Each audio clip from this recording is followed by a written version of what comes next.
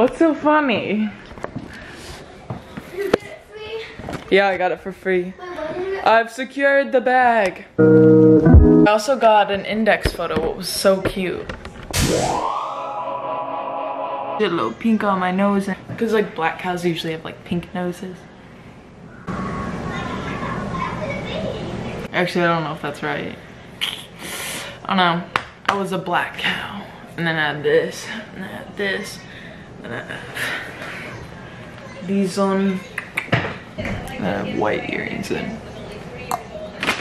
This is my little Polaroid picture.